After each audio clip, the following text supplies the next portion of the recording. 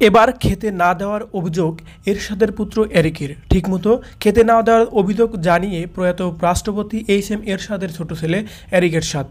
এরশাদের সাবেক স্ত্রী বিদিশার ফেসবুক পেজে আপলোড দেওয়া ভিডিওটিতে এরিক এর অভিযোগ জানায়। রোববার বিকেলে ভিডিওটি আপলোড করে বিদিশা। তাতে এরিককে স্বরাষ্ট্রমন্ত্রীকে উদ্দেশ্য করে বলতে শোনা যায়, প্রিয় হোম মিনিস্টার আঙ্কেল, আমি এরিক বলছি আমাকে নির্যাতন করা হয়েছে, আমাকে খেতে দেওয়া হতো না। আমার লিগ্যাল গার্ডিয়ান আমার চাচা জিএম কাঁদেন না, আমার মা। সেক্ষেত্রে উনার তো কোনো রাইট নাই। আমাকে এরকম টর্চার করার।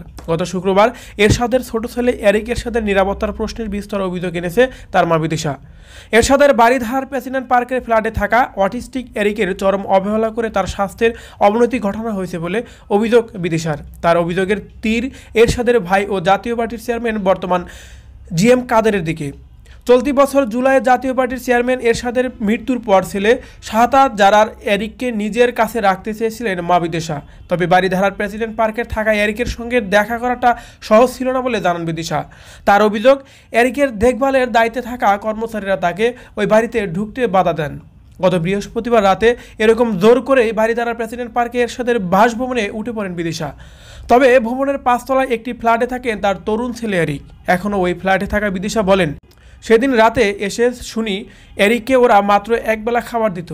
এরিকের ওজন কমে গেছে। সে নিজেও খুব অস্থিরতার মধ্যেই ছিল।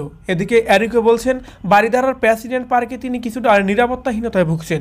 এরিকের দায়িত্ব নিয়ে এরশাদ ও বিদিশার লড়াই আদালতেও গড়েছিল। দুই হাজার পাঁচ সালে তাদের বিচ্ছেদের পর এরশাদের মামলার গ্রেপ্তারও হয়েছিলেন বিদিশা।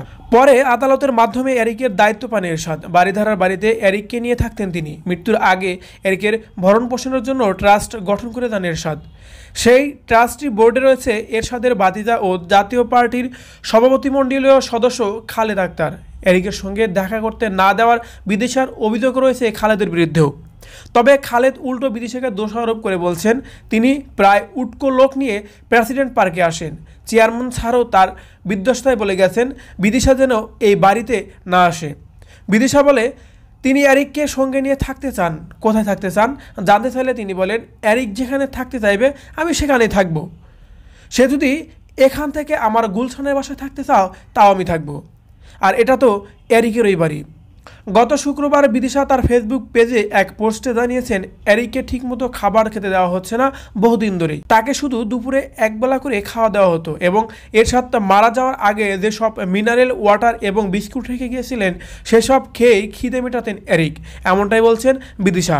বিয়ার্স বিদিশার কথাগুলোকে আপনি কতটা যুক্তিসঙ্গত মনে করছেন? এদিকে ভিডিওর মাধ্যমে প্রকাশ করেছে, এরিকের উপর নাকি নির্যাতন করা হচ্ছে। সে নির্যাতন করছে তার চাচা জিএম কাদের। এই বিষয়টাকে আপনি কীভাবে দেখেন? অ্যারিকের অভিযোগটা নিয়ে বা আপনার কী মতামত রয়েছে? আসলে কি জিএম কাদের এমনই? নাকি জিএম কাদেরের নামে দুর্নাম নটানোর জন্যই এমন কথা বলা হচ্ছে? আপনার মতামত জানিয়ে কমেন্ট করতে পারবেন আমাদের কমেন্ট বক্সে